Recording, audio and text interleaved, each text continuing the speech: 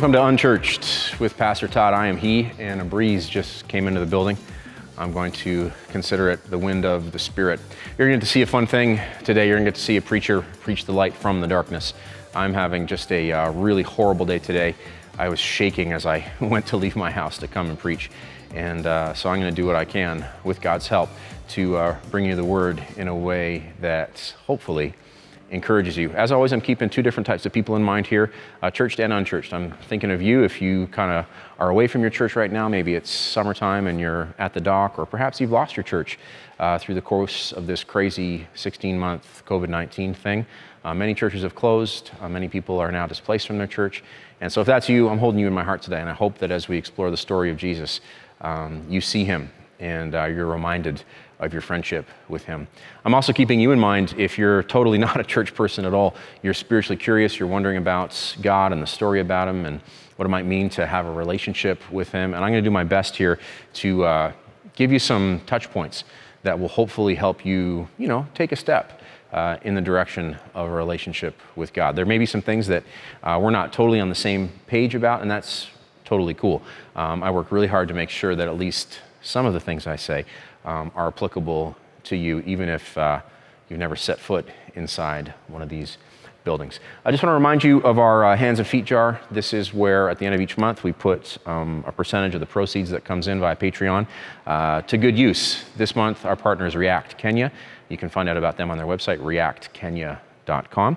And so, uh, when you join us as a financial partner, we uh, dedicate a certain percentage of that to doing good in the world. And we'll just keep finding inspiring partners who are doing good hands and feet work all around the world. So visit them, reactkenya.com. And if you'd like to make this channel go, patreon.com slash unchurched. Also, please make sure that you like, subscribe, and do share this message. If uh, you find it encouraging in the least, uh, share it with somebody who you know could use a good word. Now, let's open our Bibles and get to work. Act Like You Are is the hook for this series. We're working our way through the book of Philippians. Act Like You Are. Today, I want to invite you to consider what it might look like for you to act like you are Jesus. might seem weird, but that is the definition of the word Christian. Christian literally means, in its original sense, little Christs. So when you are looking to be a Christian, you are looking to be a little Christ. You are looking to become more and more like Jesus. Act like you are like Jesus. Now, for the sake of those of you who don't know much about Jesus, of course, you've heard his name. Oftentimes, many people hear his name for the first time in the context of a curse word. Someone says, Jesus Christ, right? They say his name in vain. Of course, uh, that's often our first introduction to him, um, and you don't really know much more than that. You know, there's a whole bunch of people in the world who supposedly live their life uh, in relationship with him, but that's about the limits of your uh, knowledge when it comes to Jesus. If I were to describe Jesus to you in terms of what he did. Um, the story about Jesus tells the story of the ultimate act of loving self sacrifice. And I didn't know when I came to this series that um, self sacrifice, giving your life away for the benefit of others, would end up being kind of the big idea of this series, but it just keeps coming up week after week. So I believe that the Holy Spirit uh, might be saying something to our hearts. So if we describe Jesus in terms of what he did, the story about him is that he committed the ultimate act of loving self sacrifice. So, if you want to be like Jesus, you're going to need to learn, I'm going to need to learn how to do the same thing, how to learn to lovingly sacrifice my wants, my needs, my desires for the benefit of others. And uh, to do that, you're going to uh, have to live um, like this. Here's Philippians chapter 1, verses 19 through 26. Paul here is speaking. He wrote the book. For I know that this will turn out for my deliverance through your prayer and the supply of the Spirit of Jesus Christ, according to my earnest expectation and hope that in nothing I shall be ashamed. But with all boldness, as always, so now also Christ, hallelujah, will be magnified in my body, whether by life or by death. Famous verse here. For to me, to live is Christ, and to die is gain. But if I live on in the flesh, this will mean fruit from my labor. Yet what I shall choose, I cannot tell. For I am hard pressed between the two, having a desire to depart and be with Christ, which is far better. Nevertheless, to remain in the flesh is more needful for you. And being confident of this, I know that I shall remain and continue with you all for your progress and joy of faith, that your rejoicing for me may be more abundant in Jesus Christ by my coming to you again. The hook here is that famous verse For me, to live is Christ, to die is gain. That's a verse they teach you in Sunday school if you grow up in church. Um, that's the kind of verse you'll see on some guy at the beach. He'll have it on his t shirt. For me to live is Christ, to die is gain. This is a, a glimpse into Paul's life goal. His goal is to be like Jesus. For me to live is Christ. He wants to be like Jesus. He wants to be like the one who gave his life as the ultimate act of loving self sacrifice. For Paul, that's the highest goal. I want to be like Christ. Remember the, uh, was it a song or a commercial? I want to be, I want to be like Mike, right? Wanting to be like Michael Jordan to grow up and be able to play basketball like him someday. Well, Paul felt that way about Jesus. I want to be like Christ. For me to live is Christ, to die is gain. Jesus is Paul's ultimate goal. So if you want to be like Jesus, so that's speaking to you if you come from a church background and you have that concept in your mind. If you want to be like Jesus, we're going to walk through some points to help you be that way.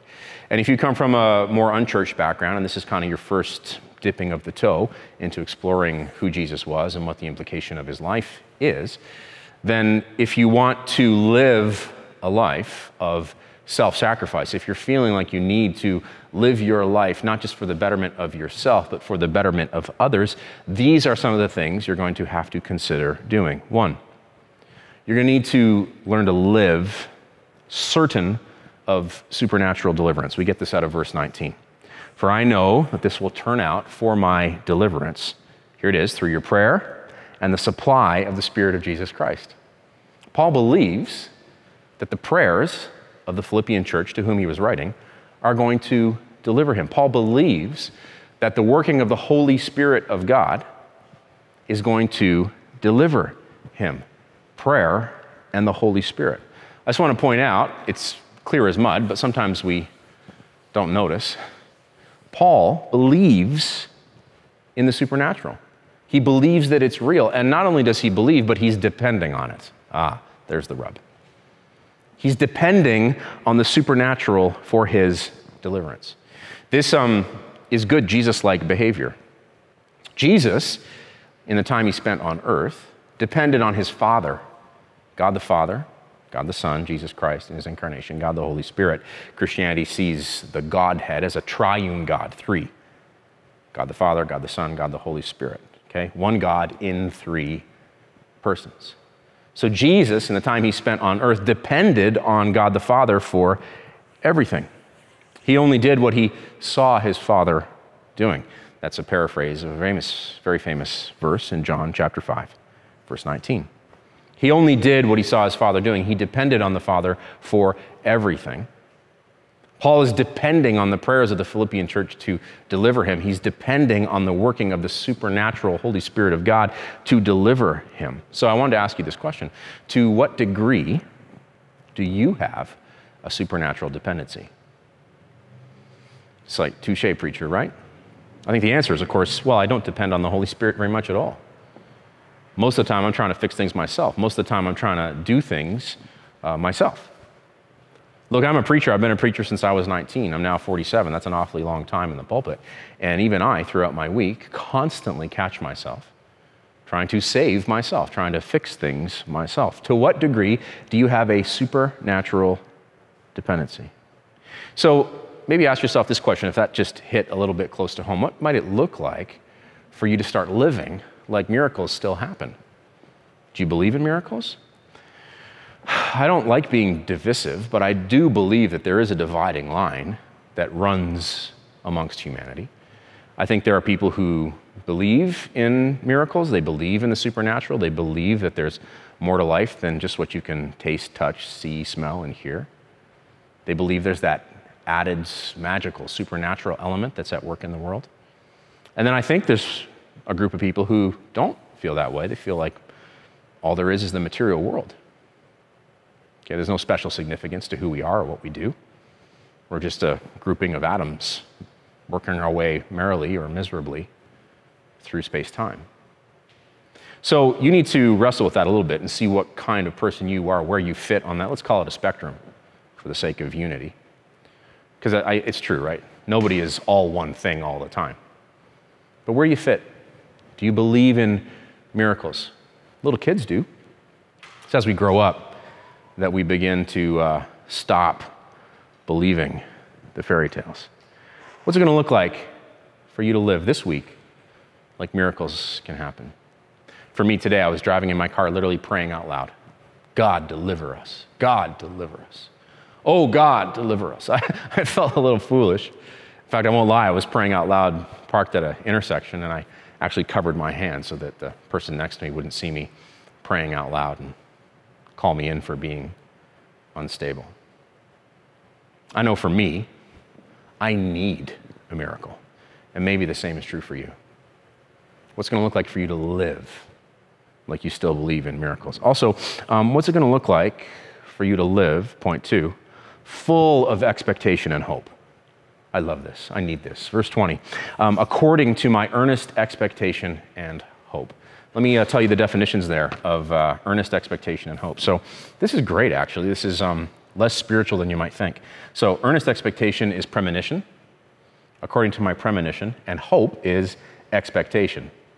So, literally, here he's saying, according to my premonition and expectation. The reason I like this is because it reminds me of how I tend to live, and I assume it's kind of how you tend to live. I've got a feeling. Do you ever make decisions based on a feeling? I know some people like to say that they always make their decisions based on facts, but I don't believe it. I don't believe that that's true. And that could be speaking from my bias. But I have made many decisions based on a gut feeling. How do you feel I've got a feeling. So Paul's saying here, according to my feeling, my premonition, he's got a feeling and he has an expectation. So he's got these two things that I have, maybe you have. I got a feeling and I have an expectation that God's going to come through. That's the cool part. That's why we do unchurched here. Because you know all about having a feeling that something's about to happen.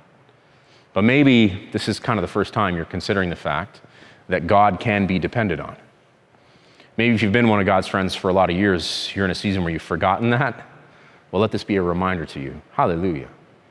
God can be trusted. Paul was expecting God to come through. He had a feeling and an expectation. That, that's a recipe for living right there. Okay, you have a feeling, you have a premonition.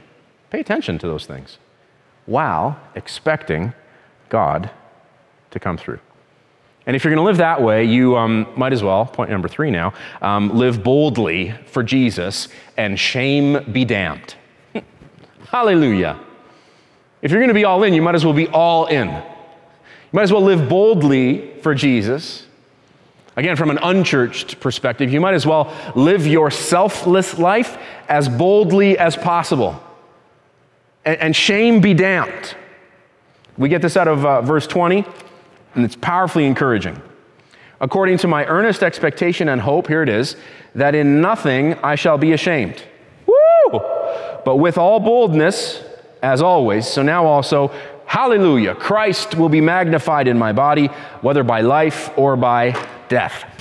I could preach to myself right here. I know that in nothing I shall be ashamed, but with all boldness, as always, I love this. Two things here I want to point out. Kiss shame goodbye. Somebody say, touche, preacher. Is your life run by shame? Do you have a hard time sleeping at night because you're so ashamed of what you've done? Kiss that shame goodbye. Well, why? How? As you enter into relationship with Jesus, you will be able to kiss that shame goodbye. Why? Because he's the shame killer. Hallelujah. He's the shame killer. I'll tell you why in just a second. Kiss shame goodbye and then make a habit of boldness. I love that Paul says, and with all boldness, as always.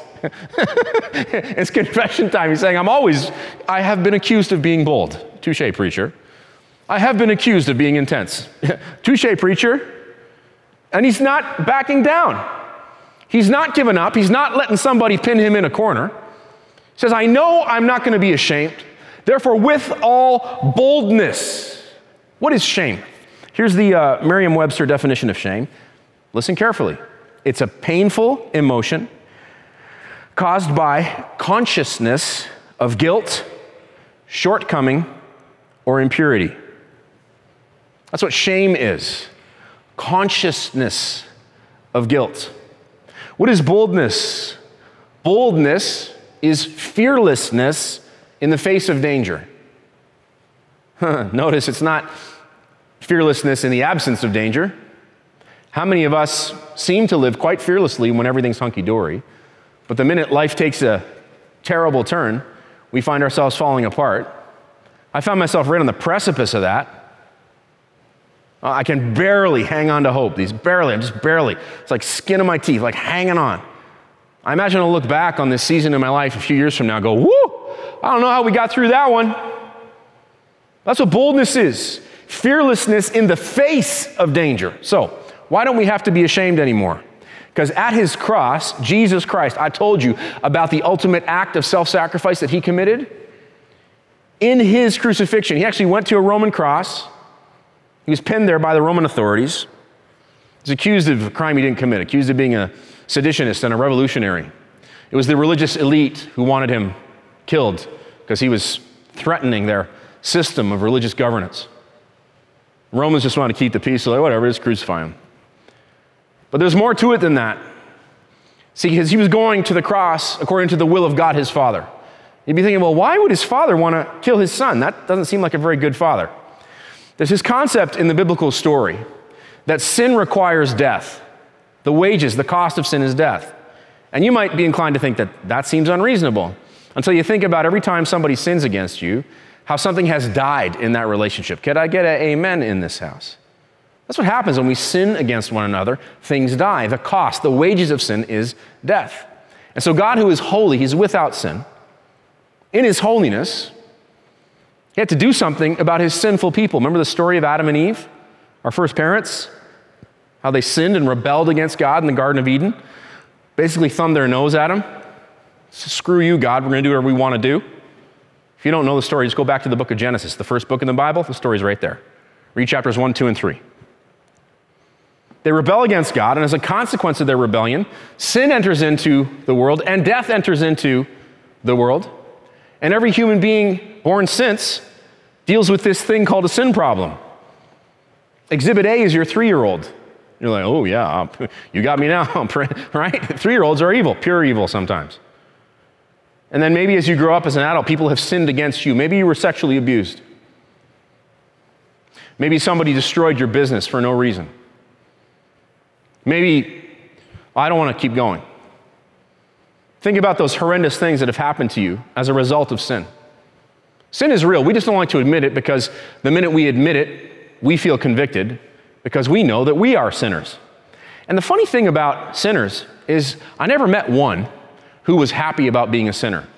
Yes, once in a while you meet somebody who's so jaded, so far gone in rebellion that they put up this front like they're cool and everything's fine and I'm great and I don't know what you're talking about. But I have had people like that come back to me years later and confess, you know, I was fronting, I was totally pretending. My life is miserable. Please, can you tell me about this Jesus you keep preaching about? See, the problem with sin is that it's corrosive, it destroys. The wages of sin is death. We don't like to admit that sin is real because the minute we do, we admit that we are sinners. And C.S. Lewis was the great philosopher writer who spoke most eloquently about this. We know deep in our bones that there's something about our sin that is not just wrong, but it's cosmically wrong, that it offends the framer of the cosmos. We have this innate sense that if there is a God, that God must be holy, that God must be perfect, that God must be ultimately good, right, moral, and true. And therefore, if that God is that way, and we know in our bones that we are sinful, we just know intuitively that there's a barrier between us and God. And it's that barrier that Jesus Christ came to deal with. He came to abolish it in his body, to borrow the terms, to borrow the term from the New Testament.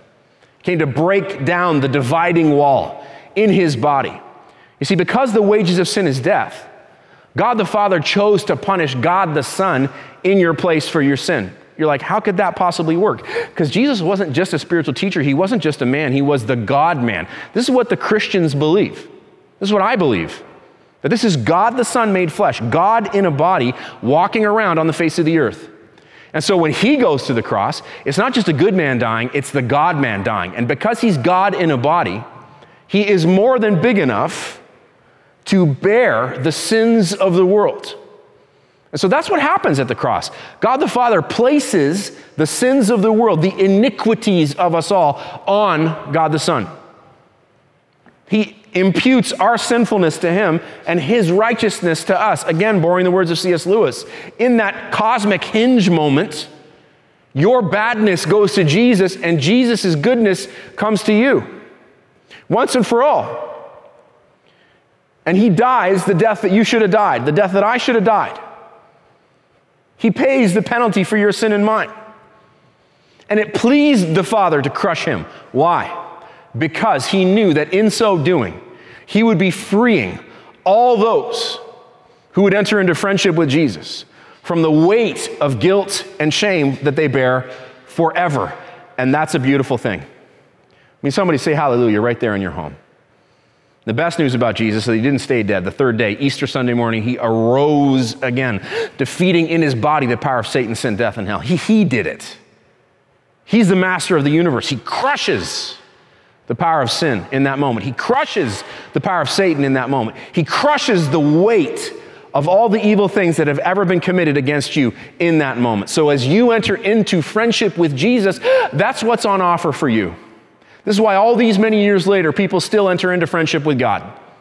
Because although on many levels it doesn't make much sense, on this level, it resonates deeply. You mean there's a way for me to get rid of this guilt that keeps me up at night? Yes. And his name is Jesus. Maybe it's time for you to come to him today. This is gospel preaching today. I don't care if the channel's unchurched, sometimes you got to preach the gospel. You can come to him right now. You can say, Jesus, I believe what this preacher's saying, even though I don't really understand everything. I want to come to you today. I want to enter into a relationship with you. Could you do that supernaturally? Could you do that? Holy Spirit, come into this room right now where I'm watching and, and change my life. Just lift that burden of shame and guilt that I've been bearing. Do you feel it happening right now? You should feel it happening right now. Thank you, Jesus, for dying in my place for my sins. Thank you, Jesus, for rising again for my salvation. Forgive me of my sins. Help me to begin walking in newness of life. Hallelujah. Hey, welcome to the family. Hallelujah. Send me an email if that's you, toddcandelon at gmail.com. You'll see it right there on screen. Send me an email, let me know. I'd love to follow up with you.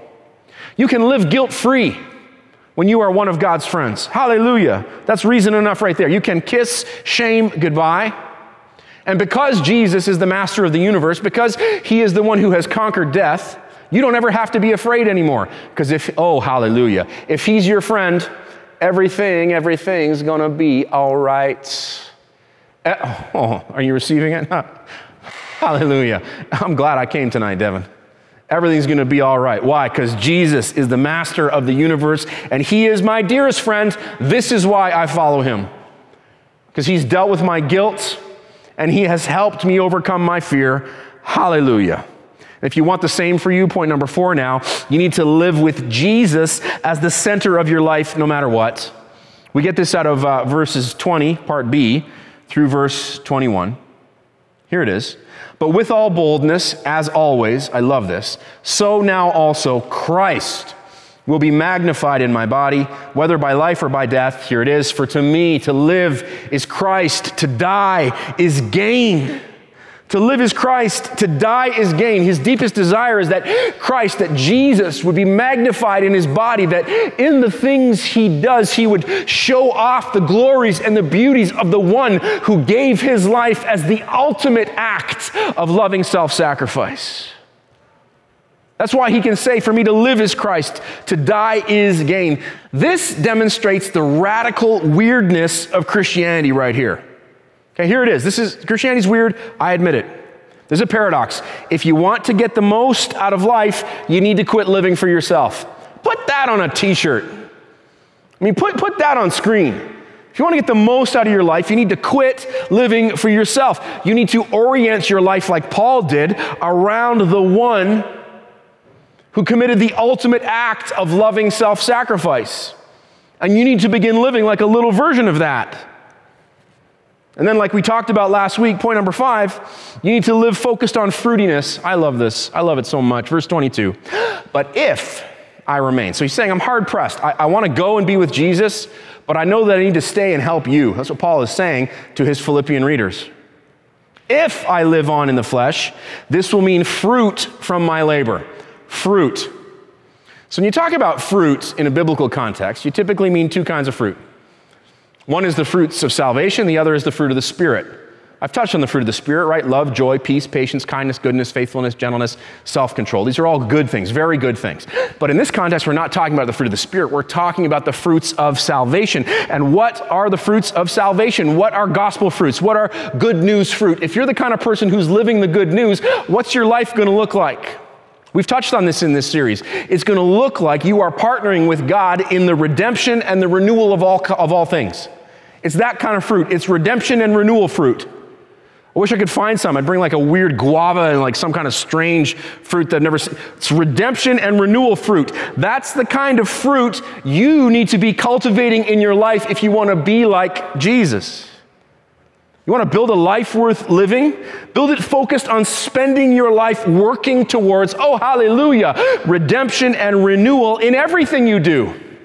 Try that one on for size and see how it changes your whole approach to life.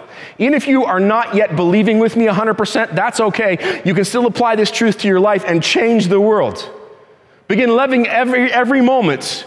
Begin engaging every interaction as if your job is to bring redemption into that moment. To redeem is to buy back. So think about slavery. It's like you're going in with money to buy a slave out of slavery and set them free. Live that way and you'll change the world. Renewal, we all know about this. This is like you're planting a fruit tree in your garden and cultivating it over years so that your garden can be renewed.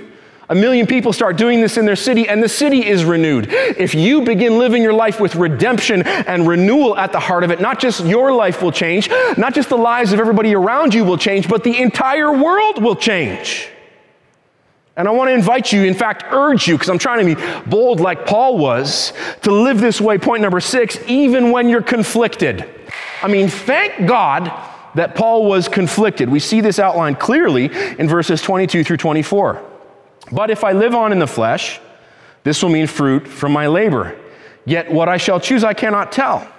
For I'm hard pressed between the two, having a desire to depart and be with Christ, which is far better. Nevertheless, to remain in the flesh is more needful for you. I mean, thank God that even Paul, the author of two thirds of the New Testament, the super apostle of the early Christian church, even Paul was conflicted. Remember the song, Should I Stay or Should I Go Now? That's what he's feeling. Should I stay or should I go now? And if you take him at his word, it almost sounds like he wants to die. We've already said he's in prison. Next time you find yourself in a situation that is so bad that you want to die, hear my voice in your head. You're not alone. You're not the only one. It's going to be okay. Jesus can help you. Okay, even Paul, arguably the most famous Christian other than Jesus in history, was conflicted. So conflicted that on the one hand, he wants to die so he can go be with Jesus. But on the other hand, he knows that he needs to stay to help his people. I'm thankful for Paul's conflictedness here because it reminds me of me.